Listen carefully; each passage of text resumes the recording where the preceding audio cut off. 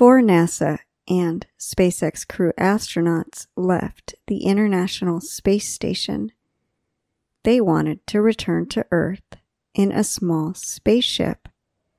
The return was the first splashdown at night for NASA astronauts since 1968.